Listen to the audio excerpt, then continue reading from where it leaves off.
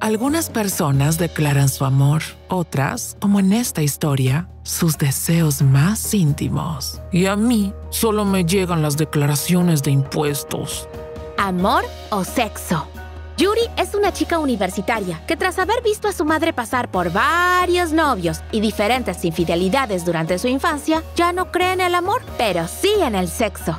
Ella decide buscar a un chico que valga la pena para perder la virginidad, y es ahí cuando se topa con un estudiante muy apuesto llamado Ryu. Yuri no solo le declara al chico que lo encuentra muy atractivo, sino que le dice que desea tener una relación casual con él. ¿Esta chica de dónde saca el tiempo para estudiar con una mente así? Si tienes curiosidad sobre lo que responde Ryu a la oferta de Yuri, pues descarga ya la aplicación de Webtoon y comienza a leer Amor o Sexo.